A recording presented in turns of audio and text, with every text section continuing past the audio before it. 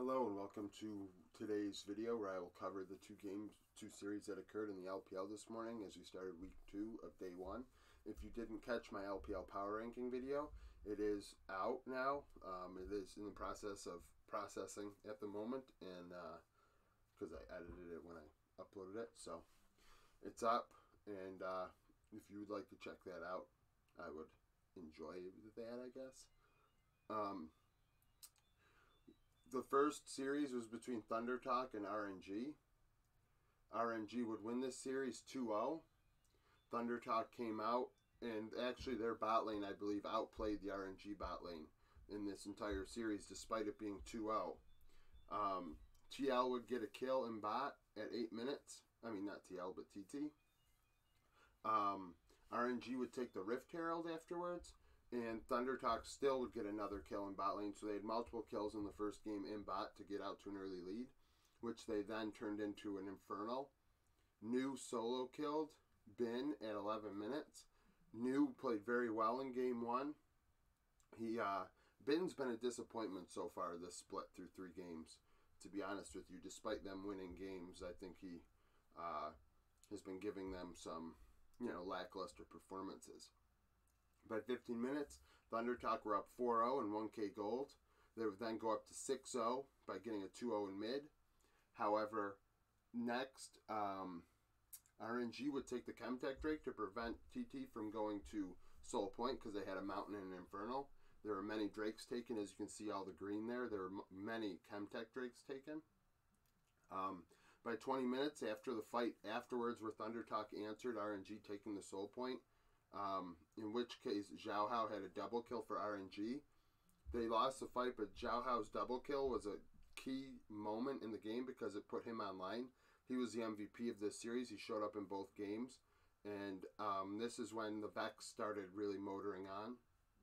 20 minutes, Thunder Talk were up 9 to 3, 3.5k gold, and Captain was 3 0 and 2 for um, Thunder Talk. However, Thunder Talk then would go to Soul Point. Um, R- that this is when Thunder Talk started making mistakes. RNG allowed, I mean, Thunder Talk allowed RNG back in the game by getting caught out a few times. In which case, RNG then would take a Chemtech Drake and go to Soul Point because Thunder Talk started backing off because they were allowing RNG back in the game. They wanted to play it safe, and it didn't make a difference because in the end they ended up losing. RNG would take the Baron at 35 minutes with a 4-2 teamfight win. Xiao Hao with a double kill. However, this Baron would not be fruitful for them. How the only thing that it did provide them was an opportunity to get prepared to take the um, Chemtech Soul, which they did in a one-to-one contested fight. Um, Thunder Talk now we're up at uh, 40 minutes. They're up 14 to 13 but our the gold was tied, and Xiao Hao was nine four and seven on Vex. So he was just the only person really doing anything in this game for either team at this point, and the gold was tied. So all it was was one fight after that. I mean, so Xiao Hao ended up getting a pickoff play at 42 minutes to be able to take the Baron, and that was all the power they needed to be able to get some push in mid lane to win in the final fight. The final score was 17 to 14. Um, RNG would then start game four, game two by ganking mid at four minutes. TT would then respond with a 2v2 kill and bot again on their own. That bot lane was doing very well. Puff looked good. Um, RNG would ensure that they had the early Drakes and made sure that Drakes were a priority in this game. They took the first three before 20 minutes. Um, by 11 minutes, uh, there was an outplay by RNG on a dive attempt by Thunder Talk, and the team started going back and forth, back and forth. Um, top lane was a was a priority for both teams. At um, 16 minutes, Thunder Talk would make a play in mid 2-0 to be able to pull closer to RNG. At 20 minutes, uh, Thunder Talk were actually up in kills again, um, despite struggling in gold. New was 2 0 2 at the time. And, excuse, me. And was uh, the carry for them. Just like he had done very well in game one, New showed up for Thunder Talk in both games as well, which was a nice change because he did he, in the first three series. I thought he was one of their weak spots. Um, at 21 minutes, he would actually solo kill Xiao Hao. Uh, then take the Cloud Soul at 24 minutes, which then turned into a Baron at 25 minutes, which puts which made their gold lead 4.5k at the time and just grew after that. By 28 minutes, their gold lead was now, excuse me, 7.5k. Xiao Hao was 4 1 and 2 on the uh, Lucian. Very different than the Vex, obviously. He was showing his champion pool in this. The final fight happened at 30 minutes for Elder. Thunder Talk actually won that fight. However, RNG would try and backdoor and they exposed the Nexus. Puff had a double kill to prevent RNG from ending at that moment, but a couple minutes later, RNG would just get enough push in mid lane once again to be able to send somebody towards the um, Nexus to end. So it was really contested at the end, the Nexus. I mean, they thought the game was over before it actually was by a couple seconds. Nevertheless, Xiao Hao was the MVP. Like I said, he showed up in both games. Um, series 2 was between Anyone's Legend and Fun Plus Phoenix. Um, this was also close, as you can see, 10 to 7 and 9 to 8. So, um, at 6 minutes, Anyone's Legend would start off by um, by picking off the FPX jungler. FPX would then take a Hextech Drake, and then by 10 minutes they were up. Zhao Halu and um, Zhao Halu, who was the MVP of this series in my opinion, and LWX had massive advantages in lane, which was the reason why they won because they built a gold lead despite being down in kills. FPX emphasized Drakes through the first 20 minutes by getting to Soul Point.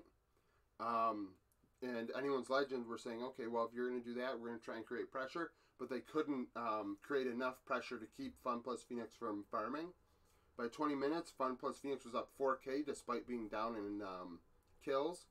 23 minutes, uh, Anyone's Legend prevented the Infernal Soul after a 2 to 2 team fight tie in mid. FPX said, fine, we'll back off. We'll scale a bit, and you can take this Drake. In which case, two minutes later, FPX would take the Baron and push their gold lead to 8k. Um, Anyone's Legend did make a stand in that, 2 to 1 in mid to stop them. However, it finally ended at 29 minutes. FPX had a 3 0 team fight win to then push and finally end the game. Uh, game two was uh, pretty much the same thing.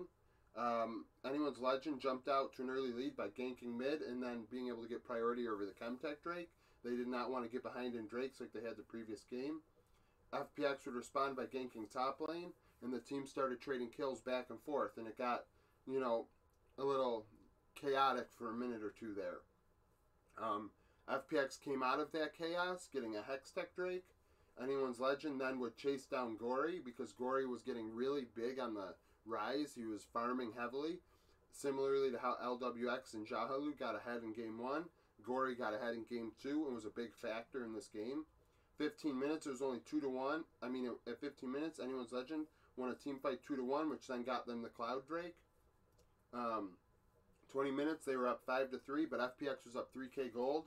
Zhao Hao was 2 0 3, the only real contributor on anyone's legend in this game.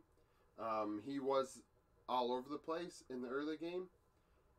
Um, so after that, FPX would take a cloud.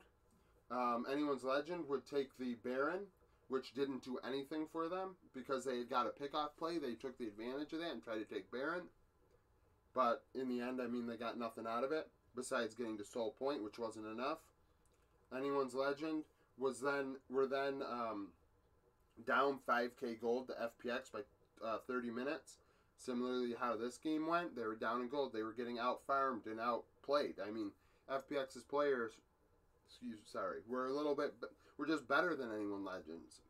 Despite anyone's legend being able to create chaos and get kills, they were not able to end the game with that chaos and ensure to to push FPX off of um, waves and lose XP and things like that. At 32 minutes, FPX would win a team fight 4 to 2 in mid to end the game. Zhao Halu had a triple kill. I mean, he showed up in both games, so he was the MVP. Because, um, I mean, the games were close. There wasn't a lot of action. I mean, the, this game had as many kills as just um, RNG had in game one. Same here. So, it wasn't a very um, you know very kill heavy LPL series like we're used to. Nevertheless, thank you for watching today's video. Come back tomorrow for um, another day of LPL coverage because they, I mean, obviously the LCK I believe doesn't play till Wednesday, and then that will make this video slightly longer. Um, check my LPL power rankings, like I said when this video started, for my um, I mean my power rankings. Here I have Thunder Talk last, RNG sixth, Anyone's Legends fourteenth, and FPX third. Um, so this is probably going to change. These two teams are probably going to change because Anyone's Legend were competitive in this game, um, showing that they are probably better than 14th. Where FPX, you know, hit a couple speed bumps, but now we're still 3 0 and they're young and could continue to be good. So, thank you for watching. I'll take any criticism I can that's constructive. And, uh, yeah, thanks for watching.